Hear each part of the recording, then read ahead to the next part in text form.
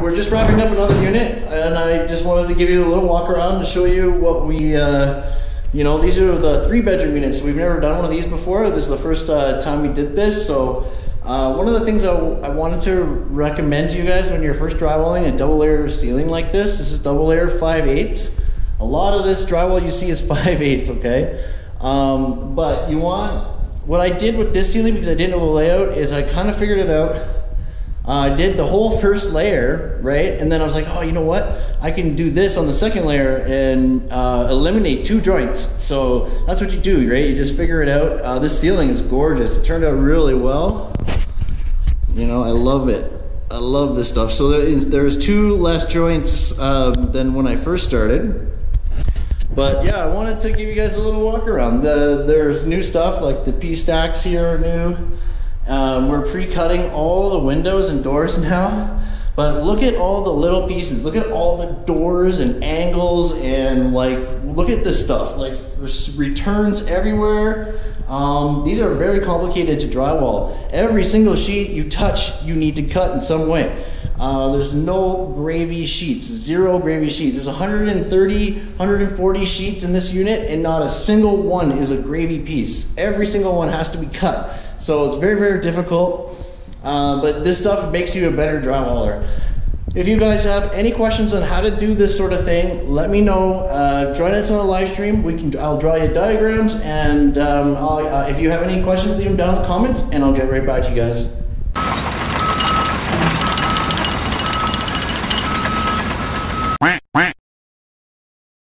Alright guys, back with another video. Um, yeah, so I know I kind of did a walkthrough video with you guys before, but uh, some recent things came up and I was like, you know what, damn, I gotta do another one. And I'm gonna do a comparison. If you guys stay tuned, uh, right after I show you this unit here that uh, Big A and I did, uh, I'm gonna show you uh, the unit another person did and how different ours are, okay? And the, the big failure of that unit. Um, I wanted to kind of you know, just show you guys the differences of good drywalling, bad drywalling, okay? And kind of show you what the other guys do around the jobs uh, compared to what we do. Okay, so at the very, very end of the video, even after I show you the bad unit, I'm going to show you how the other guys leave their units. And they're not that bad, okay? There is just, there was a really, really bad crew who did some really crappy work. And um, so I'm going to show you one of their units. Uh, they have lots of units I could have shown you, but um, look how clean it is, right? I want you guys to think about this when you go into a store and buy something, how do you how are you going to spend your money, right? Are you going to buy something that is dirty and messy and broken? No, you're going to buy something that's packaged and clean. And that's just like any trade. When you're delivering a product to the person that you who's paying you, it should be beautiful. It should be clean and looking great. You know, do your job properly there's a lot going on in this unit, right? Um, this is a three bedroom unit. This is a great example of excellent drywall. We actually have completed this whole side. So we've done, we did uh, four units, so one on every floor in this side. And uh, we hadn't had to go back for basically anything, nothing. A couple of uh, doors I need to shave back a little bit, uh, some screw checking, but that's it. No overcut boxes, no nothing, right? Uh, there's delivery damage, which I will talk about a little bit later. But uh, wait, wait till you see um, uh, the other unit. It's insane, guys. So we've done a lot of these units. Now it, we have minimized the joints. The, the bevel runs, the butt joints, we have minimized these. We've perfected these units so that uh, we have minimal, minimal bevel and butt joints, right?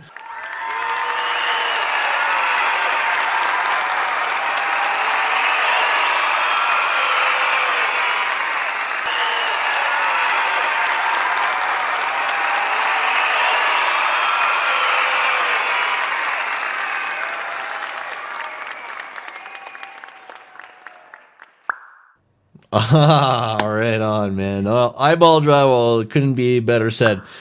The this unit is just the first unit that this crew did. The second unit they did, they had 14 overcut boxes. That's insane. You're allowed five per unit, and then they start charging you $25 after five, right? So 14 cut boxes. So what's what's 25 times six? Okay, like that's 150 bucks.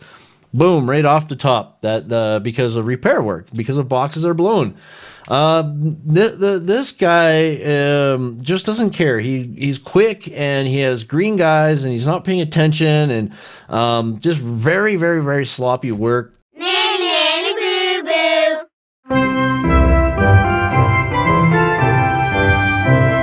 But yeah, look at the screw mess. Look at this mess. Uh, the the the problem with having guys like this uh, is he needs to learn more from a journeyman. Like he needs to spend more time learning uh, from a journeyman before he starts running crews. You know, he's a young guy and he's trying to run younger guys on on a crew. It just doesn't work, right? Uh, think about this. We actually got here after it was already cleaned out by the laborer. Uh, it was already fire taped, so we're not seeing a lot of the stuff, right? But yeah, number seven plug just in this unit, right? Um, I think this unit here there was three overcuts, uh, so that's over five, right? So that was a seventy-five dollar back charge, and then the next unit is a hundred and fifty dollar back charge. I've never been once back charged in my entire career. Never been back charged one time. You know, there's never been a situation where I haven't been able to go back and fix what I, I had messed up and uh, learn from it. You know, I go fix it for free. Right now, I don't make the mistakes. Right, I do everything good right the first time. So we like, yeah, you can you see the difference between my units and these units for sure. Right, I don't have to say it. It's uh, quite something. Uh, let me see if I hopefully I don't.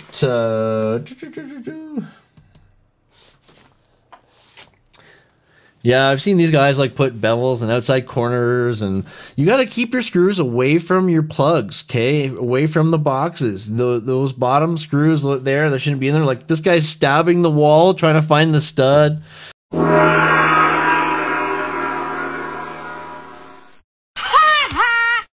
Look, brothers! Yeah, that's insane, man. It's insane. Just not taking your time, not thinking it through, not taking your time. You know, check your screws. You got have to constantly be changing your screw depth. And when you're in the corners, whether it's a bevel corner in in the inside corner or a cut on the inside corner, the screw depth will be different. You know, first layer, second layer depths are going to be different. Uh, like in the bevel, in the field, depths are going to be different, right? So watch your screw depth. Don't go too far. Don't break the paper, and um, but make sure they're also not above the paper so that the tools are broken, right? Big big deal is in the corners. You got to make sure your screws are sunk properly in the corners.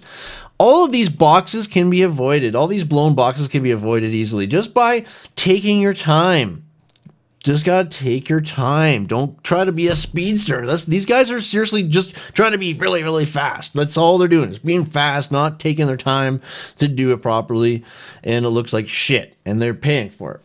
You know, like a hundred. So uh, that is two hundred and twenty-five dollars in back charges just in two units. Like holy cow right? Like how do you justify that? That's a lot of hours. When you all you have to do is slow down a few seconds here or there. And i'm literally talking seconds seconds few seconds slowing down here and there. And you're saving hundreds of dollars right? So. But yeah, like dudes, when you're doing uh, sheets underneath the windows and around the windows, just with a pencil, lightly draw on the the frame there where the studs are. You know, those that can easily be wiped off with a hand. You know, I use a I use a marker sometimes, and I mark the floor uh, or the po- the poly that's on the floor, or um, and I mark the pen with a pencil on the frame. Uh, and also mark the studs on the ceiling.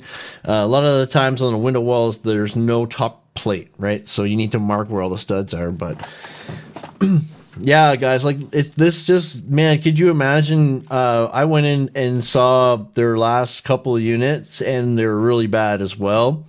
Um, and yeah, like the cleanliness, right? You you gotta be just yeah. You know, you need to do you can, eh, you have to do a better job than this. Um, this crew is very uh, on thin ice. You know, like they might not be able to come back. Uh, they have one more chance to try to do a unit properly, and that's that. Go!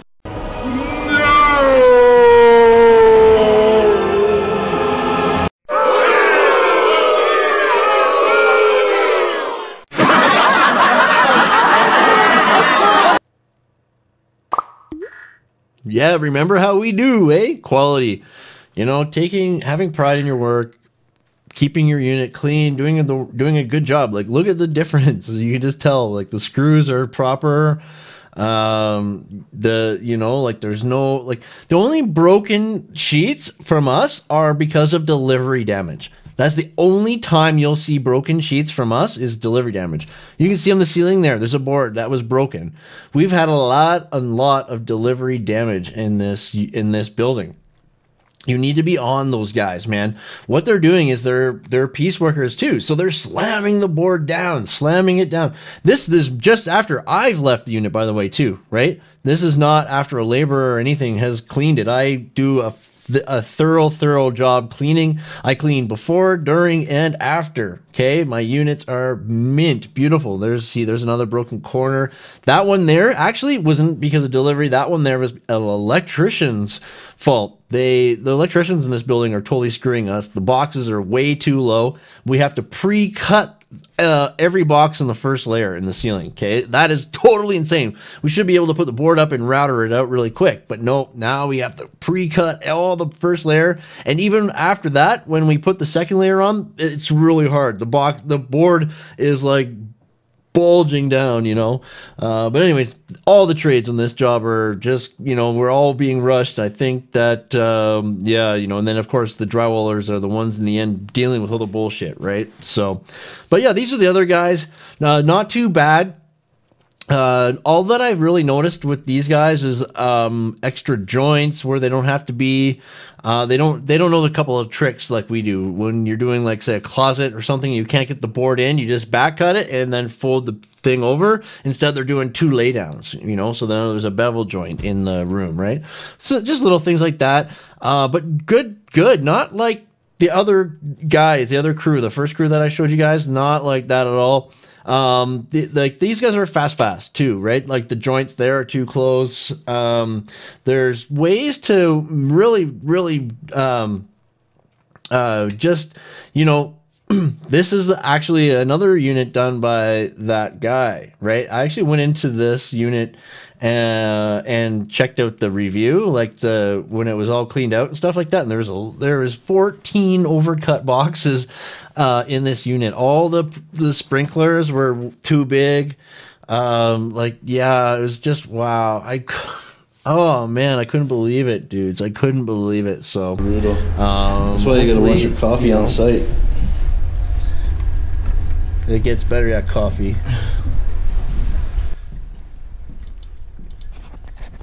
Oh, I don't know if I need a. See, like a joint right there in the closet.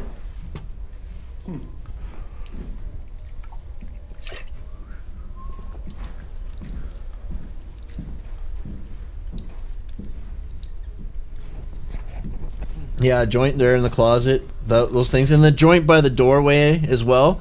If it's a under 48 in a doorway, you can do a stand up, right, and get rid of that butt joint. So instead of doing the laydowns, right.